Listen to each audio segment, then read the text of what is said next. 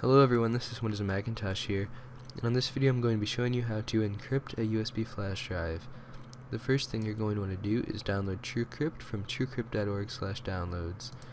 Once you have that downloaded and installed in your computer, you're going to want to find it in your program files folder, which there it is right there.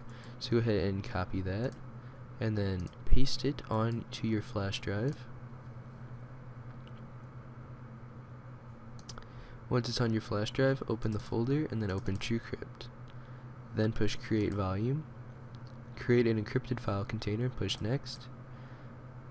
Standard TrueCrypt volume, Next. Now push Select File and select your flash drive. Now come up with a name for your encrypted volume. Mine in this video will be called Secret and then push Save. And then select Never Save History and Next leave this alone and push next. Now specify a file size. This will be 5 megabytes of encryption on this video. Push next. And now type a password.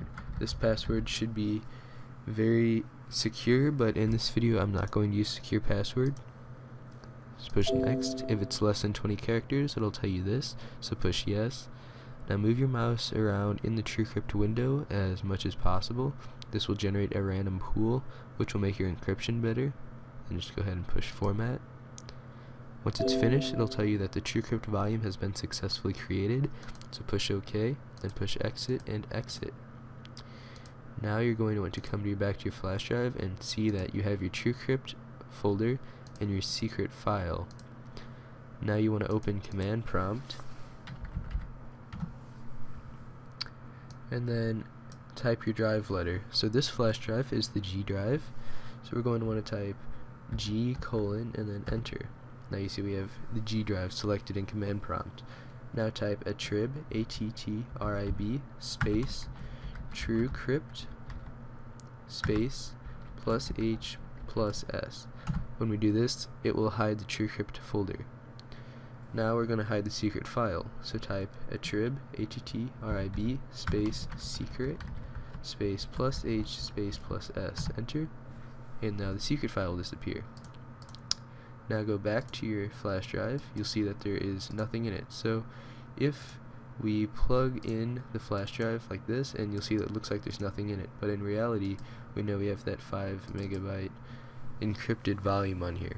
So now what you want to do is open Notepad. In Notepad, go ahead and paste in this code from the description. And right here where it says enter name here, type the name of your encrypted volume. So remember I named mine secret. Then you want to save it on your flash drive. I'm going to call it file.bat. You can name it anything you want as long as it ends with .bat. So push save. Now on the flash drive you'll have this. When you open this, it'll tell you this stuff here. So if you push 1, it will mount your TrueCrypt volume, and so it'll ask you for your password first. And now you see it mounts it as an entirely separate hard drive. So it looks like an entirely different flash drive here. So if we open that, you see we have a 5 megabyte thing here. Now what we're going to do is put a secret file in there.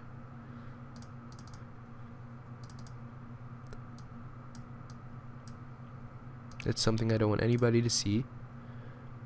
I'm going to close that. And then push 3 to dismount all TrueCrypt volumes. And then it'll say operation complete. Now if we come back to computer, you'll see it looks like that flash drive's been basically removed. So now we'll try this again. Just open this so you can see it better. We'll open this file here and type 1. It'll ask for your password, which is the same password I made earlier. And now it opens this and mounts it like another flash drive. And then all your secret files are still secret and nobody can see them. And then obviously to dismount them, you just go ahead and push 3 and they will be dismounted. So, thank you for watching. Please subscribe.